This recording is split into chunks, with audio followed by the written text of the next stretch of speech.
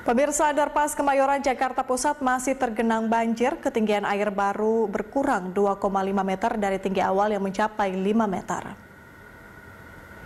Petugas masih berupaya memompa air banjir di mana 10 unit pompa dikerahkan.